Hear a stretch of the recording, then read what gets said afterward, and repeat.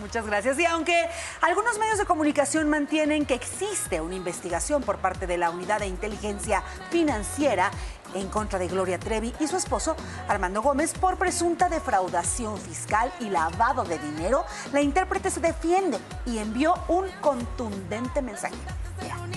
Gracias a los medios de comunicación por su presencia. Ustedes saben que yo soy una persona respetuosa de las autoridades, pero al día de hoy yo no tengo conocimiento de que exista una investigación real en mi contra, ya que no he sido citada ni notificada para presentarme ante ninguna autoridad. Si así sucediera, lo haría sin temor alguno. Por otra parte, hay personas que han estado diciendo cosas falsas e infundadas con respecto a mí que están afectando mi estado emocional mi integridad, la de mi familia, mi trabajo y por esto he, decidido tomar acción legal en contra de quienes resulten responsables, hasta llegar a la raíz histórica de esta situación. Ya no tengo nada más que hablar de esto, el asunto está en manos de mis abogados y ellos pueden contestar a todas sus dudas y preguntas. Gracias y feliz Navidad a las personas de buena voluntad. Señora Gloria Trevi, tiene usted toda la boca llena de razón, porque, les explico, sale, Gloria Trevi debe 400 millones de pesos del año 2018 y hay una orden de aprehensión en su contra. Entonces ellos se amparan por vía de mientras. Entonces yo pregunté que desde cuándo está amparada Gloria Trevi. Gloria Trevi vive amparada.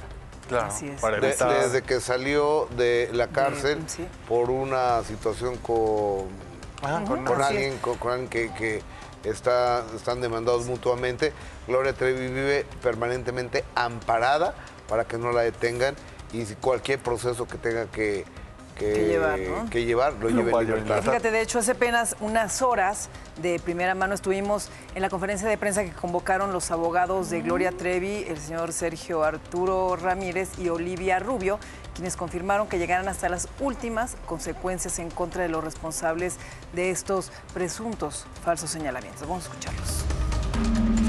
Ha habido un sinnúmero de declaraciones y manifestaciones totalmente infundadas e inciertas sobre el hecho de que existe eh, una denuncia en contra de ella por eh, este, malversaciones de fondos y mal utilizar, los fondos en los pagos hacendarios y en sus pagos y en sus contabilidades y en sus cuestiones fiscales, lo cual hasta el día de hoy no tenemos conocimiento alguno de que exista ningún tipo de carpeta de investigación ni ninguna investigación fehaciente que tenga ningún elemento ni dato probatorio que pudiera determinar que realmente haya algún tipo de conducta que ella haya desplegado que pudiera dar pie a algún tipo de delito de orden penal.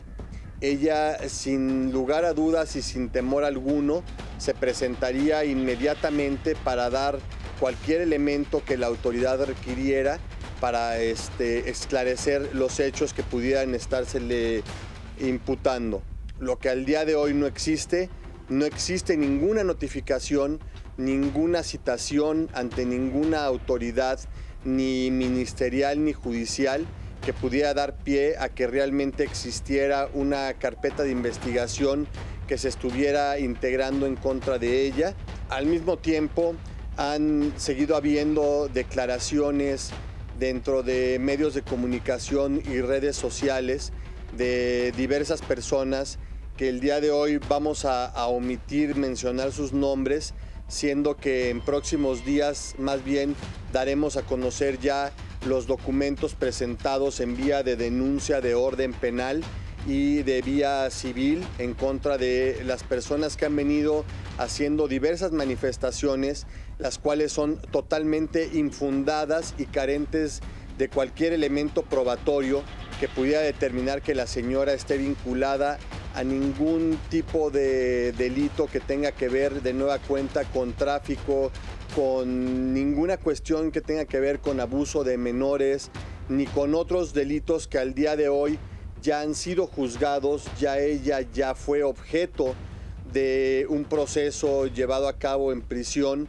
y al día de hoy tenemos sentencias que determinan por concluido cualquier tipo de acusación penal en ese sentido que se haya querido venir llevando en su contra. A lo que el día de hoy vamos a tomar, vamos a empezar a tomar acciones legales, tanto el licenciado Carlos Maceo, la licenciada Olivia y el equipo de trabajo que tenemos en el despacho. Vamos a empezar a tomar acciones legales contundentes en contra de toda esta gente que ha venido difamando y utilizando el nombre de la señora Gloria Trevi para un beneficio personal. Aunado a ello, pues como bien lo saben ustedes, empezará pronto la serie de la señora Gloria Trevi con la señora Carla Estrada, la cual tendrá gran verdad y gran razón sobre la verdad histórica de los hechos que han venido ocurriendo en la vida de la señora desde el inicio de, su carrera, lo que ha tenido que sufrir y lo que ha tenido que pasar durante todos estos años hasta llegar al día de hoy que, bueno, esperamos que ya a partir de que nosotros iniciemos con estas acciones legales, ya haya un freno y un cese por completo a los ataques que ha- de los cuales ella ha venido siendo objeto desde hace muchos años. O sea, no hubo tal. O, o- o sea, no, no hubo nada, nada más eh, fue una difamación a través de algunos medios de comunicación y de, y de redes sociales. Lo que pasa es que ha habido una serie de ataques sistemáticos hace mucho tiempo en contra de, de Gloria Trevi. Y, pero Gloria Trevi ya llegó a un nivel en que es, es una mega ultra estrella de este país. Yo, yo creo que no está dispuesta ella a dejarse. Entiendo que el bufet del licenciado Sergio Ramírez, Ramírez, sí. es un bufet muy importante. Entonces, y creo que fue muy claro y muy serio, ¿no? Muy- este cuate sí. con lo que, Y con es lo que, que dijo. recordemos que cuando, perdón, hermano, recordemos que cuando salió la nota, justo a los 3, 4 días, si no mal recuerdo, después dicen, ah, no, que siempre no hay orden de aprehensión porque falta una firma y que entonces va a estar retenida por esta firma. Pero mientras ya habían soltado toda esta información de que iba a ir a dar a la cárcel y que iba a enfrentar no sé qué. Exactamente, que faltaba una firma del secretario, no me acuerdo. Exactamente, que después negaron que existiera esa, esa orden de aprehensión.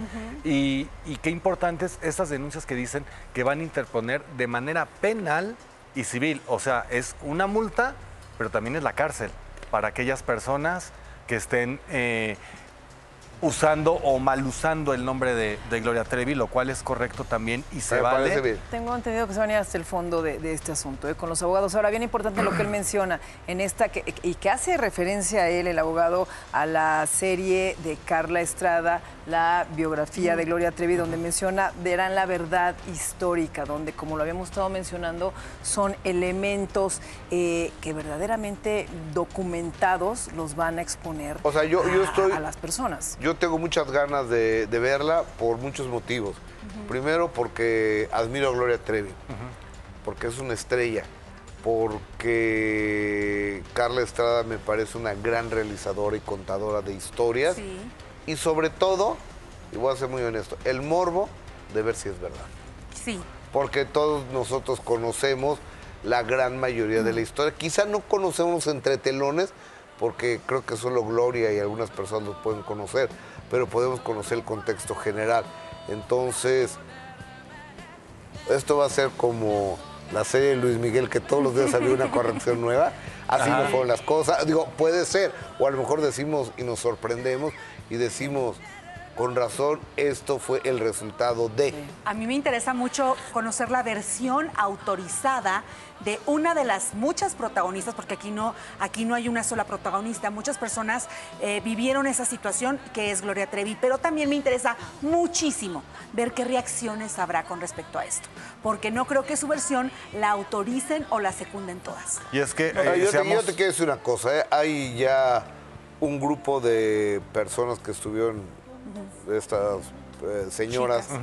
que estuvieron en el clan, Que en su momento fueron niñas. que en, su niñas. que, que- que en aquel momento es que no era un clan. O sea, imagínate, ¿cómo podemos hablar de un clan con niñas de Eran 11, niñas. 12, 13 Claro, años? claro. Niñas. Era un asqueroso, puerco, depredador, Sí. abusivo, violador, que debería estar en la cárcel, el Corrupto. infeliz ese corrupto de, de Sergio Andrade, con una bola de una bola de niñas a las cuales ma- manipuló. Esa es la única realidad incluyendo a Gloria Trevi. Una- una- Exactamente. Una, secta, ¿no? Y, y de lo fascinante que se vuelven estos, estos hombres, por eso es que logran hacer estas sectas, por eso es que logran engañar a tantos hombres, a tantos hombres, perdón, y mujeres con un objetivo en particular. Y conocemos muy bien cuál era el de este hombre. ¿no? Exactamente, y, y- y qué interesante porque sí, sí, a mí también me, me urge ver esta serie porque es la primera vez que Gloria Trevi va- realmente va a contar su historia.